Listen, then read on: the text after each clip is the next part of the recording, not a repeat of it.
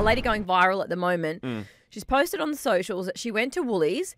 She was getting rump steak. It was meant to be eleven dollars thirty five, Yeah, right? Yeah, yeah, yeah. Yep. Then a guy comes over, a staff member, Mm-hmm. and puts a sticker on top that said team member purchase. Put it over the top of the barcode. Right. And he's like, just take it to the register and you'll get it for free.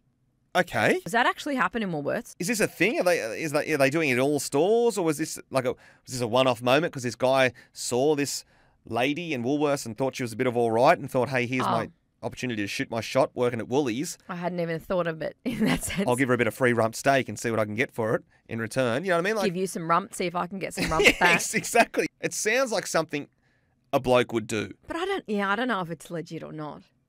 Well, Call Woolworths. yeah, exactly. What are we waiting for?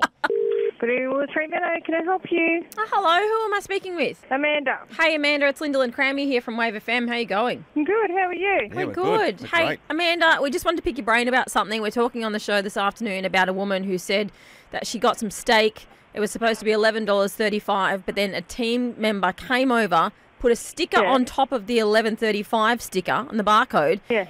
and that sticker read "Team Member Purchase." Is this thing legit? Is this a real thing that actually happens in Woolies stores, or was the guy trying to hit on her? Well, maybe it's a bit of both.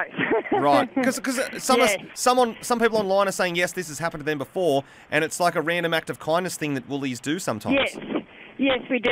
Okay. Oh. It, it, yes, we do. Okay. And it's um, yeah, definitely random. The boss just comes out and says, "Bang, just pick someone." Wow. Okay. Um, one year we gave a hammer away to someone Oh. um, at Christmas. So, yeah, we just do this because, and especially now, um, because everyone, you know, most Yeah. people are doing it a bit tough. So, um, yeah, we, and, you know, we try and reward our customers as well when Yeah, we of course. can. yeah, which is lovely. Have you ever slapped your sticker on someone's barcode, Amanda?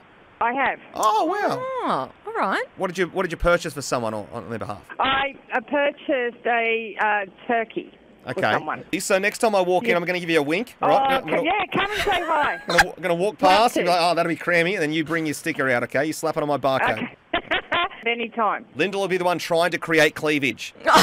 Trying is the operative word. Trying really hard. All right, well, we love your work there at Woolies. We appreciate Yeah. it. Thanks for the no, hot tip. Thank you so much, guys. Love your work. Thanks, Amanda. Bye. Have a good afternoon. You too. See ya.